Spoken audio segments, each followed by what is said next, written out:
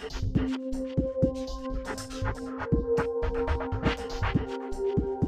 ora tato everybody. Um, on behalf of the Dean, I would like to welcome you all to this, this Dean's lecture.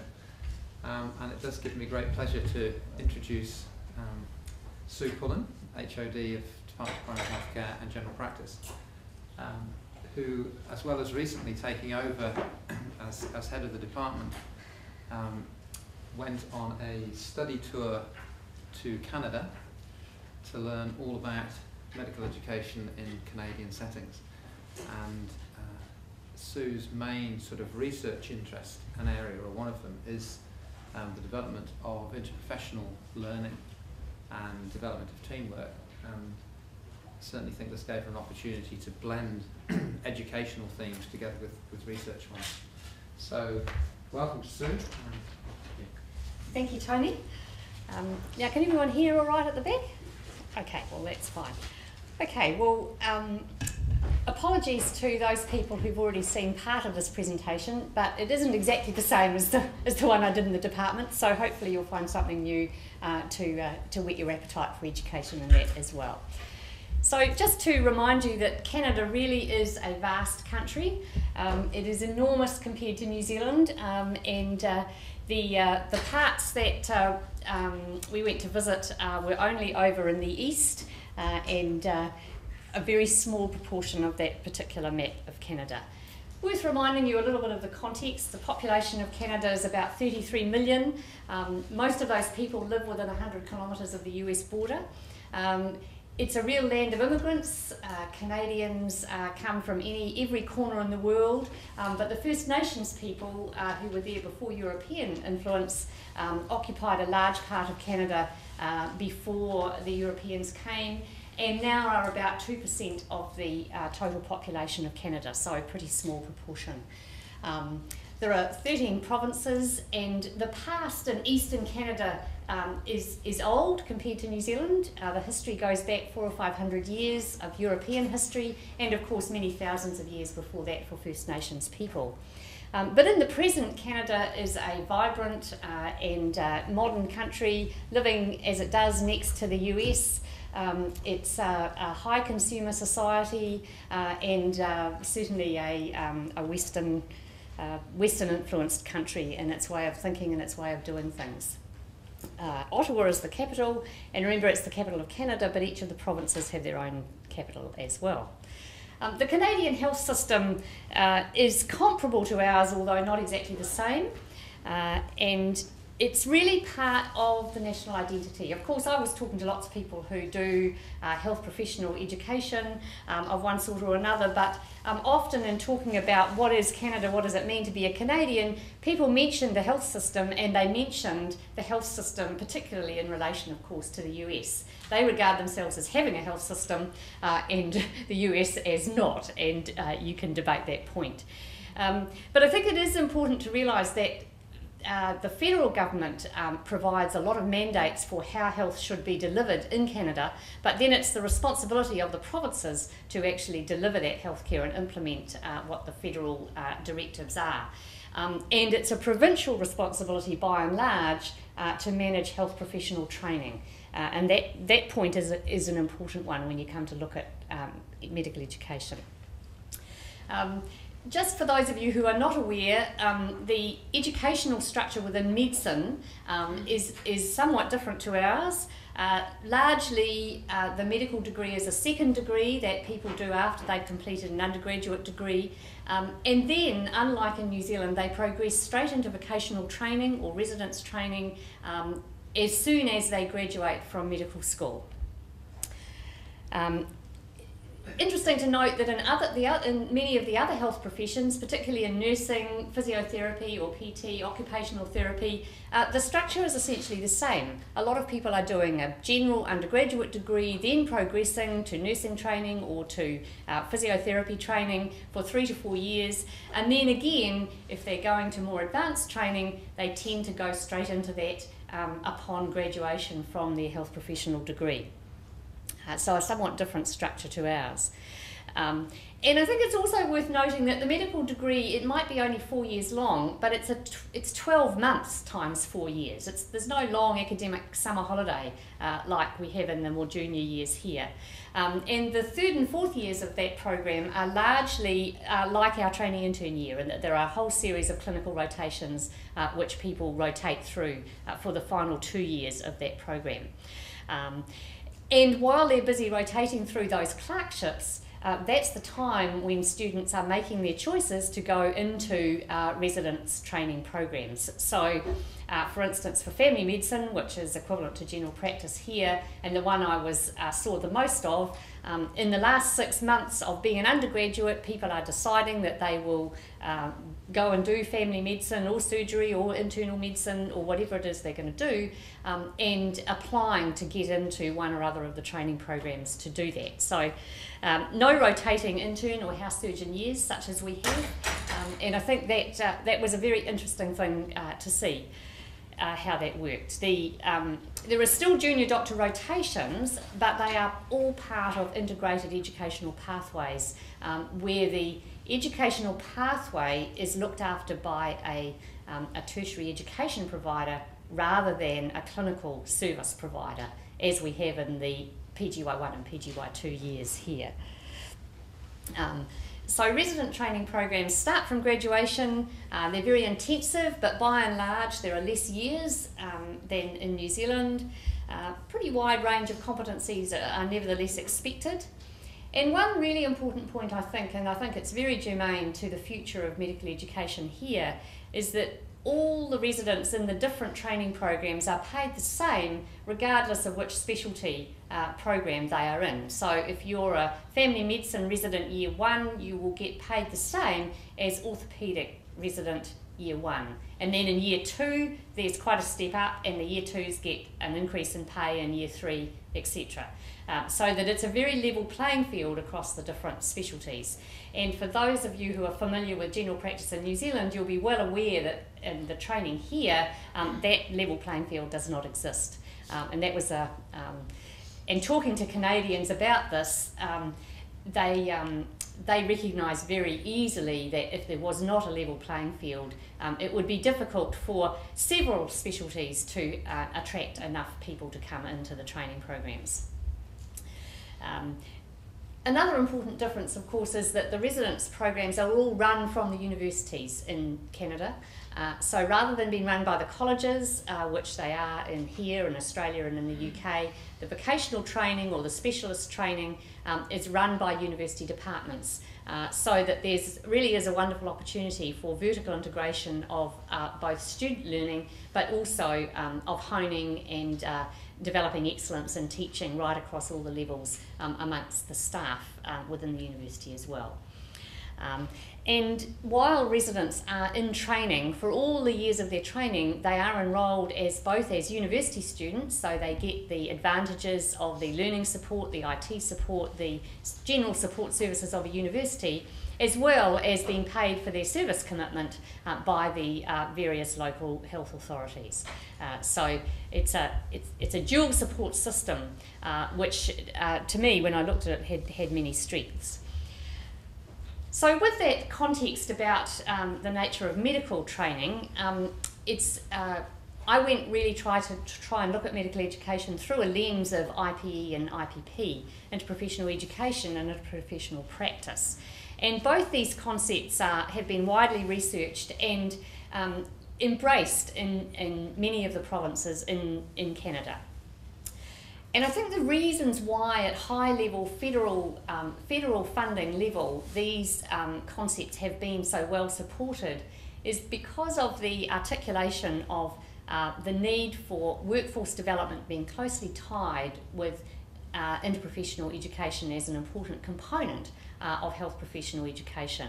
Um, there's um, increasing evidence now in Canada to show that if you uh, can get health professions working seamlessly together so that in practice they are working together instead of co- in competition, uh, they are more likely to not only be attracted into the health professions but also to stay working um, because the job satisfaction uh, is, is much better.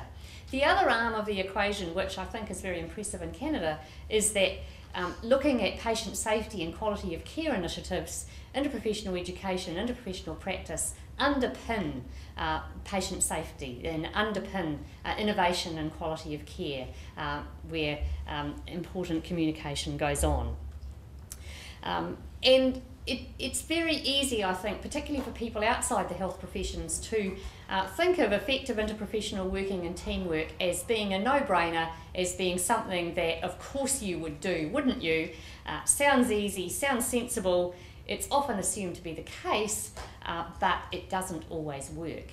Um, and I think it's very interesting to see how that translates outside the health professions. I got told recently by, um, by someone from Ako Aotearoa, that is an education funding body, that why on earth would you want to research teamwork? We all know how to do that. It's all been done, everyone does it. Well, not in the health professions. and I think the Canadians have been very good at recognising, uh, recognising that.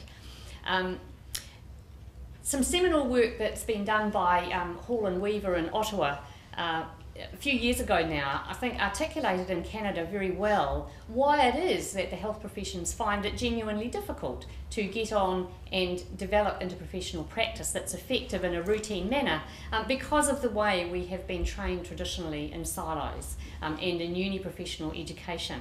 So um, Hall and Weaver, um, each health professional learns their traditional role through the education process of their discipline, and this role becomes an integral part of their cognitive map. And you can go on and read the quote there. Um, so recognising that has been one of the drivers behind saying, well, okay, well if that's the, if that's one of the problems, how, how can we change it? And I think if you think it only applies to Canada, I'd draw your attention to these uh, few quotes from um, Ron Paterson's valedictory um, article in a recent New Zealand Medical Journal as he left the post of the uh, HDC. Um, how we teach may be as important as what we teach. Our behaviour as educators matters. Are our medical schools silo institutions or do they model teamwork with other schools? It's essential that any barriers to collaboration, e.g., between medical schools and general practice, are removed and strong links developed. We need to draw on the best of medical education, both in New Zealand and overseas, in areas such as communication, teamwork, and patient safety. Um, now, I don't think everything Ron Paterson wrote in this article was I would entirely agree with, but certainly the sentiment was there, uh, reflected from um, his 10 years as HDC.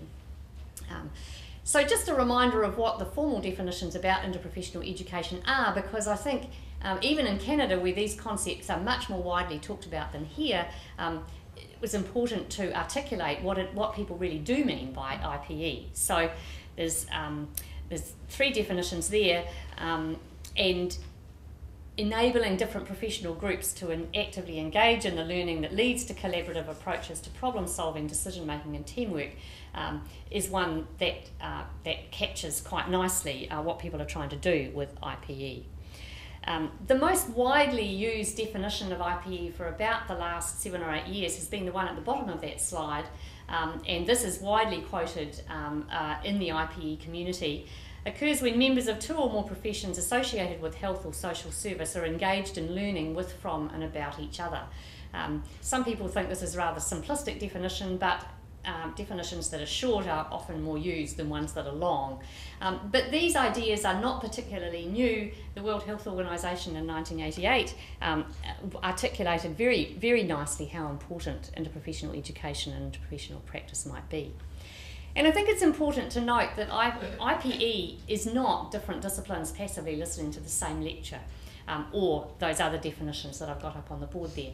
Um, I think often when interprofessional education is, is talked about, when people first come across it, they assume that these kinds of activities will meet um, the IPE objectives. And the Canadians have been pretty clear in showing that these kind of things do little uh, to get health professionals um, educated and learning together better. So, um, with that preamble, Health Canada in 2003 2004, so this is federal money, um, put um, about $20 million into the development of interprofessional education uh, among the health professions in Canada. Um, and this was federal money, it was politically driven. Um, there were some real champions uh, right up at high level in government who uh, provided this, the impetus to get this money. Um, again, driven by workforce recruitment and retention need and driven by quality and safety issues. Um, the requirements for a tertiary institution to access this pot of money revolved around uh, needing to have a school of a school of medicine, a school of nursing, and at least two other health professions, either in the same institution or able to work closely together. Um, so, you know, seven years on, um, I thought it would be really exciting and good to go to Canada and see what they had managed to achieve with that money uh, in that time. So, um, having a look at what they've done at the University of Ottawa, in Toronto, um, at Queen's in Kingston, um, at McGill uh, in Montreal, um, and Memorial University in Newfoundland. Um, I think uh, those are those are five universities that are all at the leading edge of the development of IPE in um, in Canada. Um, but one of the things all of them have um, embraced, and it's certainly part of the uh, Canadian literature, that the notion of interprofessional practice is just as important as interprofessional education. Um, if you want to educate students in interprofessional education, uh, all the classroom teaching in the world uh, will always get trumped by the clinical placement experience of students out in practice. So if the practice experience does not model interprofessional working, um, then students are not going to learn or retain um, IPE principles. Um, so the Canadians looked for places where collaborative practice was, was more readily occurring, perhaps than in other places. And uh, it will be no surprise to most of you, I'm sure, that places places like palliative care, primary care, rehabilitation, and indeed very high level tertiary care, things like intensive care units, um, uh, cardiothoracic units, uh, neurosurgical units, um, are places where it is more, more readily easy to see that there's real collaborative practice going on. And some of this is necessity. I mean, necessity is the mother of invention, and in these places, the discipline just doesn't work, the outcomes just aren't achieved unless you have high level, high level teamwork going on. So, this recognition that um, these, these three concepts are inextricably uh, linked uh, was, is key to the, to the moving forward of um, IPE and IPP in, in Canada. And I think the work of um, Ivy Oandasan in Toronto um, is a very nice piece of work that does demonstrate, I think, quite nicely to their health professionals that there is a spectrum of collaboration. You don't have to have fully collaborative, um, intensive practice for every single patient encounter. That is never going to be realistic. So, um, developing a spectrum of collaboration which moves uh, from the left of the screen over to the right of the screen, I think, has been a very helpful way of conceptualising the concept of collaboration in the Canadian setting.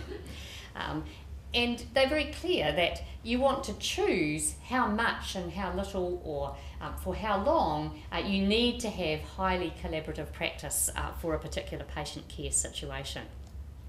And so, if we're talking about teamwork um, and talking about the need to for people to work closely with each other in an interdependent way, then you're looking more at the right end of the spectrum uh, than, uh, than at the left hand end of the spectrum. So it was a great privilege and pleasure to actually go and visit Pippa Hall and Linda Weaver, the people whose quote I gave you earlier on, um, who work at a palliative care facility and a continuing care facility in Ottawa um, at the Elizabeth Bruyere Hospital. Um, this is a very impressive uh, facility, and uh, it was um, very exciting to go. And I went on some ward rounds there, had a look at how this all works, and the interprofessional practice going on at an entirely routine level um, was something which students were able to hook into. They go to a lot of trouble to make their teamwork incredibly explicit, spelling it out in words of one syllable. And I think they've the reason they say they do it is because well functioning teams can often appear it, the work underneath is often invisible. So for, for, a student or a novice, an inexperienced person, uh, you have to sort of spell it out in words of one syllable and um, have tasks and cases to work on where the students actually have to um, start de novo uh, from getting to developing case, patient care plans um, that incorporate these principles. In Toronto, the Office of Interprofessional Education is a far cry from those skyscrapers of the financial district in Toronto.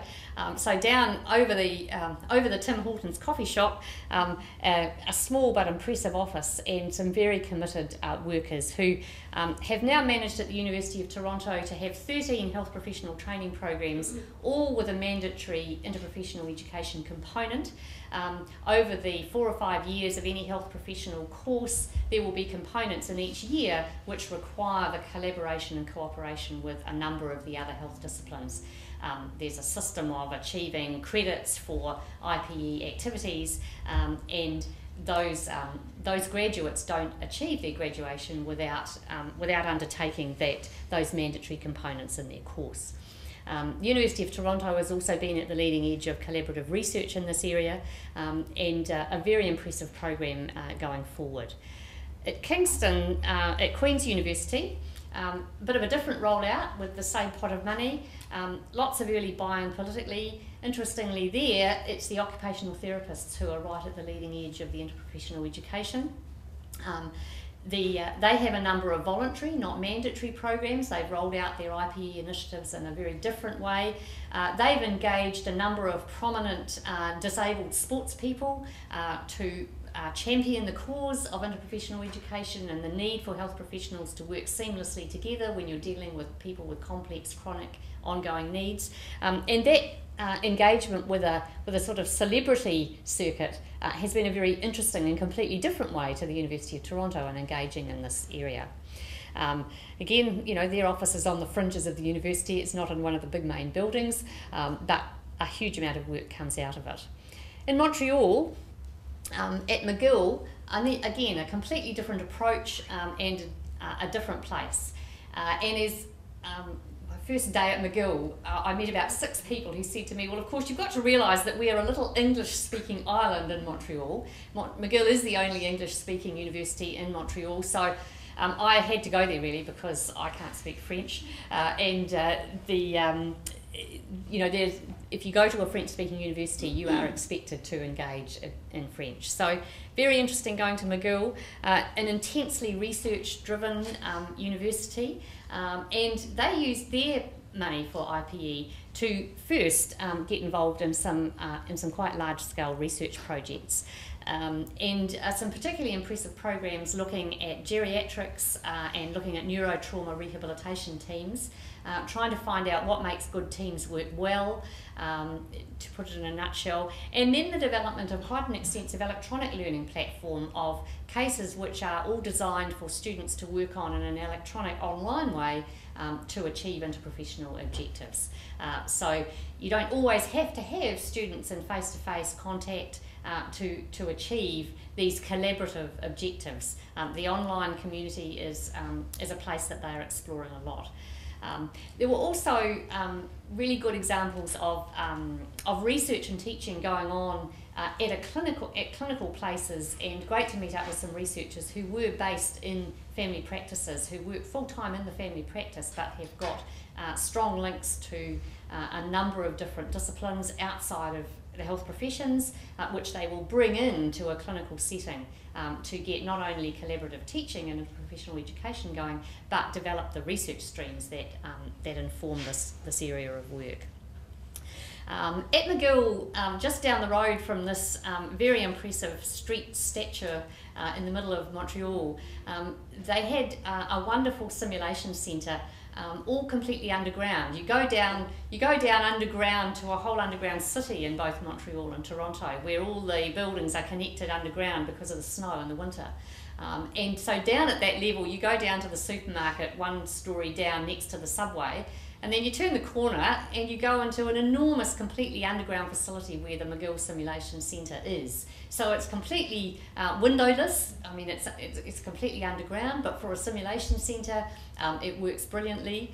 Uh, and um, a very impressive um, collaboration there with high-tech mannequins, low-tech mannequins, a lot of uh, training facilities available for intensive care specialists, um, operating room teams, um, a number of uh, emergency resuscitation type scenarios, um, but also a very extensive simulated patient program, all run within the same facility. Uh, which gave them the opportunity to combine um, mannequin type simulation learning experiences with simulated patient experiences. Um, and it was really fascinating to spend a day there uh, watching a situation where there was a uh, there was a team of people, uh, paediatric intensivists, who were who were learning to work together on uh, particular resuscitation scenarios for paediatric um, patients.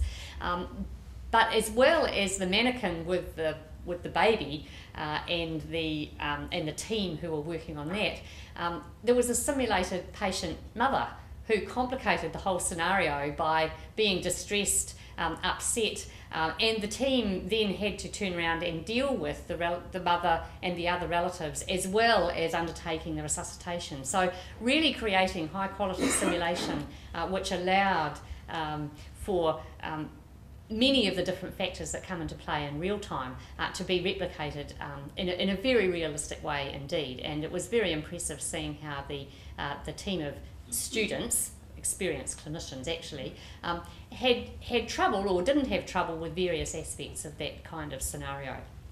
Um, so the opportunity for excellent interprofessional education experiences is in a simulation setting, um, and of course this is not the only place in the world that is experimenting with these things, but this was a particularly impressive simulation centre. Um, nine full-time staff to run it, uh, and uh, you literally can ring up and book your session and they'll do the rest. Uh, very impressive support uh, for faculty. And at, McGill as well, at the Lady Meredith House, is the Centre for Medical Education at McGill. This is one of the leading um, centres for medical education uh, in, uh, in all of Canada. Yvonne Steinert is the um, uh, Professor of Medical Education here. Uh, and uh, this is a tremendous facility which uh, supports um, a, a, whole range of faculty development for the staff at McGill, um, looks after clinical teachers, looks after faculty staff, um, provides assistance with teaching and learning skills, but also the academic leadership skills come out of this facility. Um, the, and research skills for staff as well. So they provide a wide range of faculty development support. Um, they have um, one-off workshops, they have scholars programs, they have a flourishing research program going, and just while I was there, um, they um, had made no bones at all about the fact that they had they had managed to achieve significant endowment money um, to uh, get a second professor involved in medical education research uh, for uh, for the for the facility. Um, so a wide range of programs running out of there. Um, again, um, six full-time um, staff who whose sole job it is is to mount and run these programs. So again, as faculty, fantastic facility. You can basically ring up and say, "I would like to do this," um, and they will they will organise your resources and do do the lot in terms of organising um, how how the facility will run. Still, on to St John's. Um, St John's is um, the really the only significant urban centre in, uh, in Newfoundland um, and Labrador. Um, a really different place from a geographical point of view. Um, the geology in Newfoundland is really fascinating and really starting to get up now into an area of Canada that is a very obvious glaciated landscape, and um, you can see these these rocks that have been ground down by the ice, and they're not very far away from the surface of, the, of uh, what you see. So Memorial University in Newfoundland Labrador um, is about 40 years old, so it's quite a young university in many respects. Um, long before the Health Canada money came along, um, Memorial University was um, engaged in interprofessional education already. Um, they had things well established. Um, and, and a big part of the reason for this is because Newfoundland and Labrador are it's largely a rural community with only one relatively small urban area, one university, huge rural hinterland. Uh, rural practice has really different models of care and it also significantly has different models of employment. Uh, so, in the Faculty of Medicine at a memorial, um, there are sco- there are schools of medicine, nursing, pharmacy, social work, and interestingly kinesiology. Now at Memorial they didn't have any PT or physiotherapy and OT training in Newfoundland, so if you want to be a PT or an OT, you've got to go to Nova Scotia as your next port of call. Um, but because these schools are co-located. Uh, within a small university, the opportunities for collaboration, of course, geographically and synergistically, um, were they were easy to easy, easy to achieve um, because some of the um, pragmatic barriers were not in, in place uh, in the way that they were at the University of Toronto. Um, but when the Health Canada money came along, um, Memorial was incredibly well placed to undertake a rapid enlargement of their um, IPE program. Uh, Vernon Curran's the Professor of Medical Education there. Um, and they were able to develop um, twin programs uh, to really uh, foster both interprofessional education between the undergraduate students, but also to have a parallel program of fostering interprofessional practice um, right across clinical disciplines, um, both in the hospital and in the community, um, and uh, reaching out into not just at St John's, but reaching well out into the into the rural areas as well. Um, so this interprofessional practice program um, is in part supported by the university, but it's in part supported by the local health authorities, um, and they've become known as a sort of almost a troubleshooting team, right? So you've got problems on your medical ward, you have got some dysfunctional relationships going on. Call in the IPP team, and they will uh, they will come and assist you to uh, try to try and help. So as well as having um, provide, trying to provide a scaffold for the interprofessional education students and fostering the IPP, in their own right, they've become uh, this this teamwork help team, if you like, um, that goes out and, and works. And they are inundated with, uh, with work. There's, there's too much work for them to cope with. Um, again, in spite of the busy service loads in those areas, um, there's a flourishing um, research program, um, and Vernon Curran has spearheaded the development of a very impressive assessment rubric uh, that looks at how to assess interprofessional qualities um, in both students and at practices. And um, that, uh, that rubric uh, was also developed in association with people in Ottawa and Toronto. Uh, so it was quite exciting to go to Ottawa and then Toronto and then uh, go up to Newfoundland. They say, "Oh, so you've already seen?" They knew I was coming. It was quite interesting to go around between um, between this this very functional group of researchers. So the IPE is well embedded in the undergraduate components. It's, um, it, there are mandatory components um, at every university that I visited, some voluntary ones as well as at Queen's. Um, really important feature, I think, is the high level buy in at universities um, and the research activity um, that's gone on to, um, to articulate the theoretical constructs for interprofessional practice and interprofessional education. And um, I think it's been those uh, theoretical constructs well articulated that have really helped to achieve that resource input from federal funds that Canada, um, Canada has, has used in a, a pretty exciting way. Um, so just then thinking about primary care practice, um, interesting to have a look at the family health teams that have been developed in Ontario.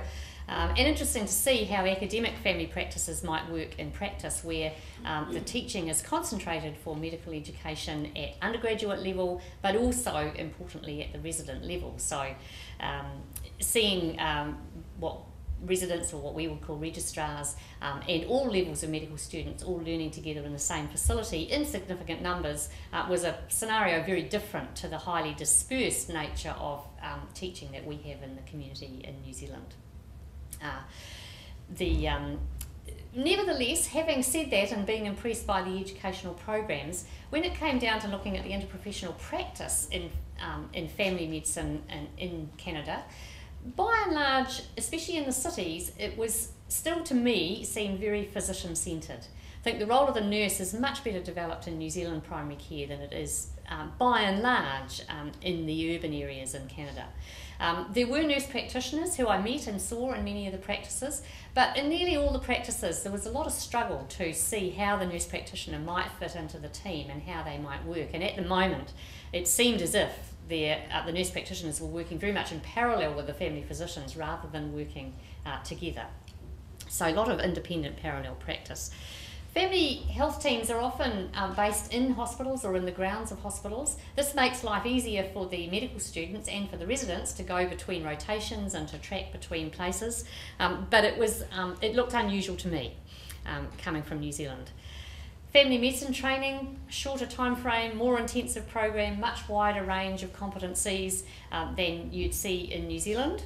Um, and I think very interestingly, the total number of years in tertiary education um, to train uh, family physicians is significantly shorter than it is, um, it is in New Zealand. Um, in New Zealand, uh, it's 11 years minimum tertiary education to get to be a um, Fellow of the College of GPs, which is our specialist qualification. Um, in Canada, uh, that's routinely possible in nine years. Um, and in Quebec, where there are some schools where um, they don't require a prerequisite undergraduate degree, um, seven years is, uh, is a possibility to train someone from, from school uh, to be a specialist GP. Incredibly short. And talking to the Canadians, this is, I mean, this is probably the shortest family medicine training program pathway in the world. Um, they did feel it was too short. And interestingly, for people going to remote rural practice, there's a third optional year in the residence program, which you have to apply for that's very much oversubscribed, and the Canadian feeling was that yeah, three years is probably a much better train length of training program than two years um, post graduation, but nevertheless, that's still significantly shorter uh, than what we have in New Zealand. Uh, and I mean, the same, perhaps not to quite the same extent, um, but in, in nearly all the medical disciplines, the total number of years in training is shorter than it is in New Zealand. The years are academically longer, um, but the total number of years is, is much shorter. And I think that's something we really should think about in, uh, in New Zealand uh, when we're thinking about medical education, how long it takes, how expensive it is uh, to, train, to train doctors. Um, are there ways we could um, make, make the training shorter, um, more doable in terms of number of years of commitment that students have to have um, without compromising the quality of what, uh, what, our, what our graduate profile would be, would be at the end? Um, again, another family health team in a, next to a hospital, um, rather imposing buildings, but once you got inside, the a lot of the uh, family medicine that was going on inside these buildings was just the same as it would be in a New Zealand uh, general practice setting. Um, the family health team practices in Ontario are supported by the Ontario government. Interestingly, all the staff are actually directly employed by, um, by the provincial government, um, so all the staff are salaried uh, except for the physicians. Uh, and I think this difference in funding is one of the things uh, that, to some extent, I think made me think, well, this looks still a pretty physician centred way of delivering uh, fam- family medicine. Um, the doctors still bill for services. They don't bill the patient because, of course, in Canada, um, no one pays at the point of consultation for care, and whether it's primary or secondary care. So, when you go to the family physician in Canada, you don't pay any money at the time. No money changes hands, um, but the doctor is still generating their income by um, filling in a schedule and saying uh, you know, I've seen, you know, patient one for contraception, I've seen patient two for obstetric care, I've seen patient three uh, for an ophthalmology consult, I've seen patient four, etc. Um, and that billing process is a fee for service system billing the government rather than the patient. Uh, so, um, a significant difference to, um, to how, we, how we work here.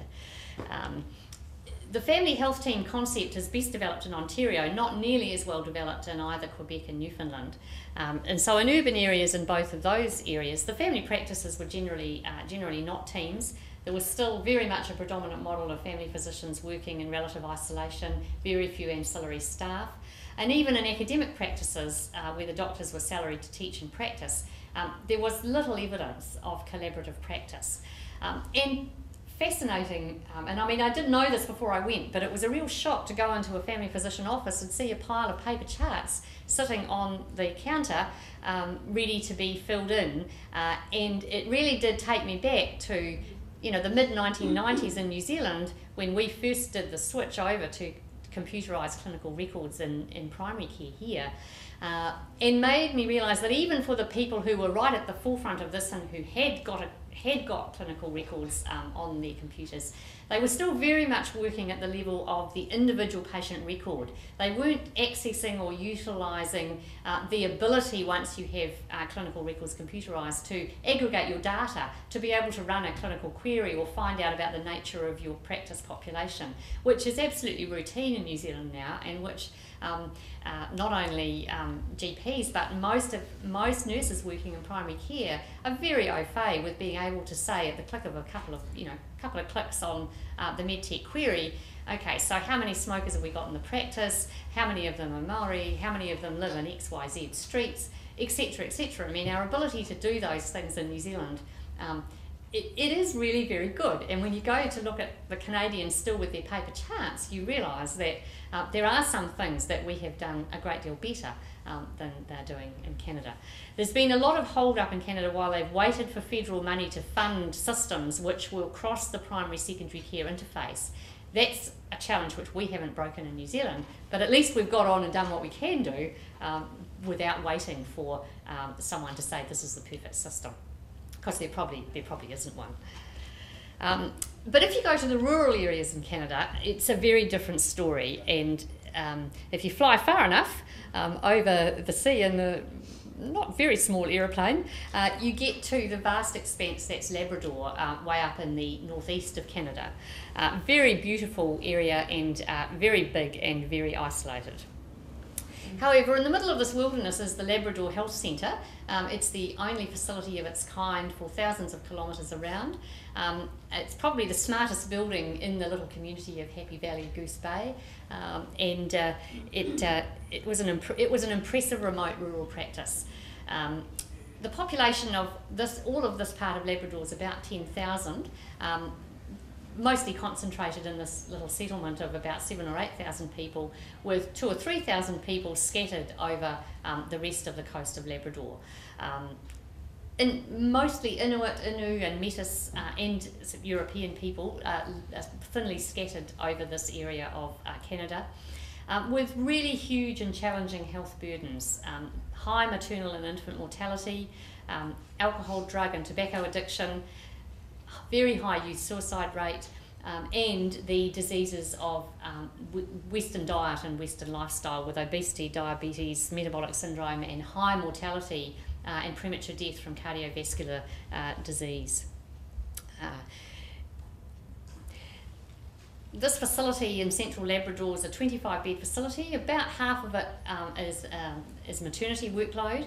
Um, and it's worth remembering that the age of first birth in this community, uh, the average age of first birth is 14 years old. So we're talking about a population of parents who are teenagers, uh, and the um, and the elders in the communities are often in their 30s and 40s. When we, you know, you just don't see the equivalent of our kuia or kaumatua um, because they're dead, basically.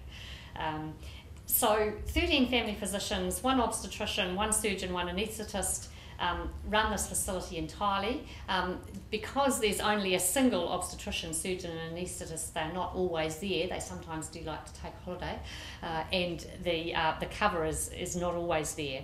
Um, but a very um, a very dedicated and committed team of nurses and nurse practitioners, physiotherapists, occupational therapists, social workers. Um, and as well as the 25 bed facility, about a dozen very small satellite clinics, um, which are largely inaccessible. Uh, were totally inaccessible before the advent of, um, of flying came to Labrador. Uh, most of these places still don't have road access, and they're, and they're not likely ever to. The country is just too huge and vast, and the population too small. Um, and the um, access by sea um, is um, not there in the winter because the pack ice um, is packs in all the top of Labrador. So you just don't uh, get there except by plane from about um, November through to about May.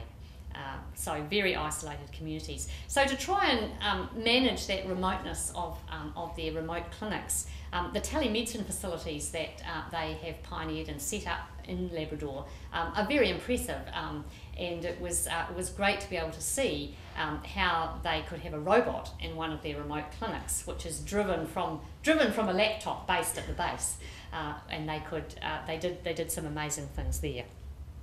I mean, this is uh, one of the days we were there, we were lucky enough to get offered a um, vacant spot on the hospital plane. They have a plane which goes around and collects all the patients who are going to be admitted for um, moderate, minor and moderate surgery for the next day or the next couple of days. So we went off as passengers on this hospital plane and we collected people who were due to have a um, wound debridement of a injury, um, a carpal tunnel syndrome done, uh, that kind of level of surgery. So those this plane would go out and collect all these people and then fly them back to base to have their surgery. Um, depending on whether they were Inuit or Innu people, uh, depended on which hostel they were put up at when they arrived back at Happy Valley Goose Bay. There was someone detailed to look after them. Um, for some of these people, um, this trip to this tiny settlement of Goose Bay of about 6,000 people was the biggest place they'd ever been to.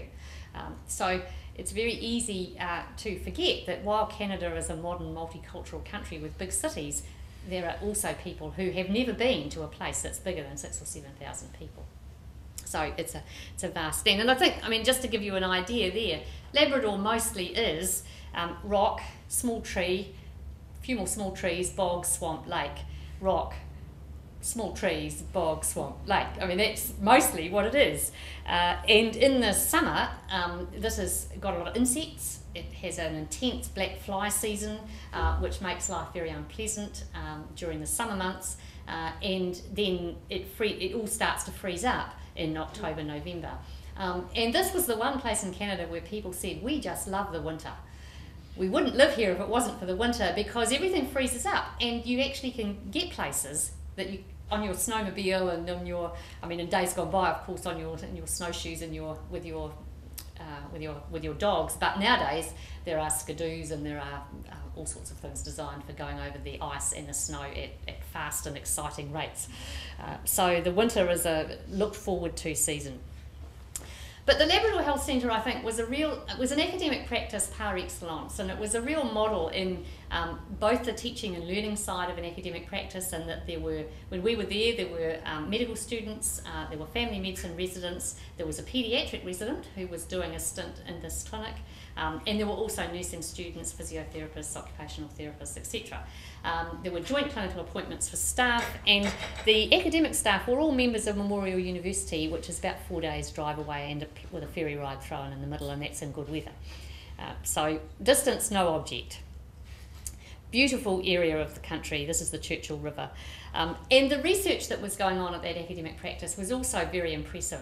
Um, the uh, uh, the, the, the, most senior um, person at the clinic um, was very interesting, um, very um, humble, I think, uh, self effacing family physician who lived in this community for nearly 30 years and spent hours, weeks, and, and years working with local communities. The, the, the groups of First Nations people are known as bands, uh, and they vary in size quite a lot. So, um, developing a very what's been a very successful um, research program to reduce maternal and infant mortality. Um, they were able to set up a, um, an intervention uh, with some communities um, to get women to come in at 37 weeks to the base facility before they had their babies um, and uh, then go home um, again afterwards. Some of the communities didn't want to participate in this scheme, so they had a nice control arm to their trial. Um, and very impressive results at reducing maternal and infant mortality in that program. But interestingly, one of the most positive spin offs in that kind of program uh, was the fact that they, all these young women, and remember they're only 14 and 15 year olds, they bring them to base um, to wait for their babies to be born rather than have them get bored and spend all their time smoking outside the uh, facility. Uh, they put in place a very intensive health education parenting program for those women, um, talking about smoking cessation, dealing with some of the huge alcohol issues, um, looking at parenting techniques, etc. And they're now starting to see, six, seven years after this program was implemented, um, that those women are coming back in much better shape for their second pregnancies than they were in their first pregnancies. And I think that's a, you know, that was very impressive um, results from, uh, from action, action research right um, in, in the community. They're working on mental health interventions, um, the youth suicide rate being so high amongst the Inuit people. Um, when people first said to me it's 26 times the average Canadian youth suicide rate, I said, You mean 2.6? No, 26 times. So there has to be something seriously wrong um, with uh, communities which have such a high youth suicide rate, fueled undoubtedly by alcohol um, and other drug addiction problems, um, but there must be much deeper causes for those kind of figures um, than uh, you know what you and I might class as health health related challenges.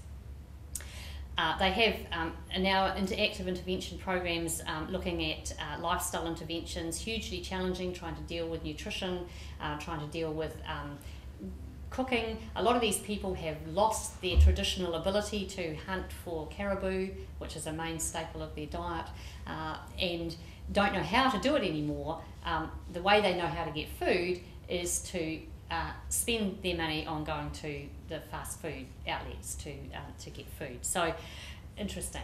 And I think the other thing that was very impressive um, at the Labrador Health Centre was that they're just now about to embark on a program of a, on a PhD program of having non-clinical PhD students actively researching in these communities um, and argued very successfully that there's no way you should have people doing research on these communities from outside. But if you want to do research in a, in a First Nations setting, then the first thing you have to do is come and live and be part of and earn your earn your way into that community before you will do research that's actually going to make a difference and is actually going to engage with the people you really need to research with. So, some very impressive things going on um, in, in this area. The collaborative practice was really impressive up here. Daily team meetings, um, because it's a tiny facility with 25 beds, all the staff get together for half an hour every morning. They run through the list of who's admitted in the last 24 hours, who's been discharged. Um, it just was completely routine to go from a complex maternity case to a surgical one to a trauma um, to a mental health issue. Everyone knew about it, and then away they went. It was so so simple. um, the, the supervision of the staff at remote clinics was done through um, this is this is Michael Jong who was the senior physician here um, on that laptop he has got there in front of him he is driving his robot uh, in a clinic about 500 kilometres away. And he drives it round, and this machine will just come through the door around the corner and it'll say, Oh, hello, Peter, how are you today? And it'll carry on. You can conduct emergency resuscitation through this facility, um, you can conduct teaching sessions, you can conduct mental health consultations, all sorts of things which um, they, are, they are doing here. Uh, and the interprofessional learning uh, was there all the time. So that's it about Canada. Um, welcome some questions if there are any. Um, but it was a fascinating trip, and I guess I should say thanks to the University of Otago for funding me partly and putting me on study leave to go. So thank you.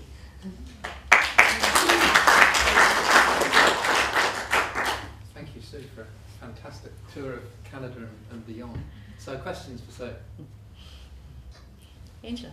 Um, so in the Labrador facility, were the staff locals or were they sort of on placement there? And if so, how long did they stay? How much staff turnover did they have? Um, that was a that was a real mixture. Some people changed very quickly, um, like they had the anaesthetists seemed to change particularly quickly for some reason. But I think it I think it's it's partly chance. Some people go there um, thinking they'll go there for two years or five years and end up staying. Um, there are very few First Nations health professionals of any sort, even community health, you know, what we would call a community health worker, um, because I think what staggered us was we, we got driven around and shown an amazing school, an educational facility. This is a primary school, uh, beautifully designed, um, had IT equipment and all sorts of things, and they said, well, this looks great, doesn't it? But we can't get children to come. Uh, most uh, kids have two or three years schooling at the most. So they're uneducated, they're unemployable, and let alone providing a conduit for a health profession, you know, a health professional workforce. Mm. Other thoughts, questions? So in terms of overall resourcing, I mean, I'm getting the, the impression that I mean Canada's a much richer, richer country were they spending their money wisely? Uh, in some ways, yes, and in other ways, no. I mean, uh, it's interesting to see that people pay nothing when they go to um, to a healthcare facility, uh, and that does make it ex- that makes it an expensive health system to deliver. Uh, the, the the fact that you are you are paying a lot of health professionals um, by salary, and I think the process of the fee for service billing system by the doctors. That's an expensive system for healthcare. Uh, when you've got people charging by procedure, charging by consultation, instead of a population based funding, uh, which does have efficiencies. And I mean, the IT just staggers me really that with almost unlimited wealth, you could just, why not fix it in a few months? I mean, yeah. what, what's the real sort of bureaucracy, red tape? I think it is, that's exactly it. I think everyone's waiting for someone to come up with a perfect solution. And I mean, we all know in IT that's never the way IT is developed. It develops better when you have an entrepreneur, where you have people who uh, can think outside the square and do something which might fit them. And I mean, our experience in New Zealand has been, isn't it, that we had a whole lot of people who thought they'd have a go at a practice management system. Um, and most of those have fallen out by the wayside as time's gone on, but they were an important part of the development as time went on before we developed sort of the market leaders. Thank you, Sue. I found that really fascinating. I just had eight years in Toronto, mm. and I probably wouldn't be quite as mm. uh, positive. I mean, you're thinking yeah. about the interprofessional yeah. collaboration. I do think, although on the surface the cultures are very similar, the Canadians have a misplaced focus on privacy and um, uh, they're, they're very nervous about what they see as some aspects of collectivised socialism. Mm. So that the notion about a, a single health card, you know, in Ontario we have the Ontario um, health insurance plan um, card, but all the regulations around not letting that be used for anything other than health. And it seemed to me often there'd be simpler ways of doing it, but they keep on getting caught up by their need for privacy, much Mm. more than Mm. here. Mm. Um, yeah, so it's not all golden, Yeah. but um, it was fascinating for you, uh, Yeah. for me to hear your take on the uh, Yeah. Well, I mean, I think it's a, it's such a contrast to New Zealand, where I think they're better at articulating the problems, at doing the research. But when you get down to the pra- everyday routine practice, I think there, I think there are things we do better. Yes. yes. So, um, I've, I've been, as you, I think you know, looking at the deaneries in London, and, um, they're having difficulty finding common ground with the nursing schools. Was there any sign of that, particularly in the more urban aspects of, of the Canadian system that you saw? Um, well, remember, I was looking particularly at undergraduate programs Mm. here, um, and no, I don't think there was too much trouble finding common ground on a case based arrangement. Um, but it's a long way, I mean, it's not like the components that are shared are relatively small. It's not like you've got one year out of four that's all done together. Mm. That doesn't happen. There are specific components, and they are very much based around individual patient cases and care. So, looking at the roles and responsibilities of each of the people in the team. Um, but the, the nursing buy in was very impressive, actually. Well, I, I'm just thinking about, the, you know, the university training in the United States, where in nineteen seventy, I went out with a nurse, my, my first Saturday as a medical student, to look at kids and, Mm. and, um, various, uh, worms in their, um, water systems and so forth. And, and I was working with a, a, a third year nursing student, and she taught me a great deal about, you know, how you, you did that. And those were programs that we were doing, you know, Mm. forty years ago now. Yeah, and I mean, I think some of those have disappeared actually. Mm. You know, we, the, the kind of experiences you and I got, uh, some of those have disappeared. Mm. Um, but it seems to me that given that our interprofessional practice is in many ways, I think, equal or better than um, the Canadians, to me that's the place where we should be starting thinking about interprofessional education. Is right in our clinical placements. That's where that's the place where I think would be the easiest um, and make the most sense for us to um, have a look at models of models of care. Okay, um, so time is up. Um, I'd like to thank uh, Sue once again and invite you all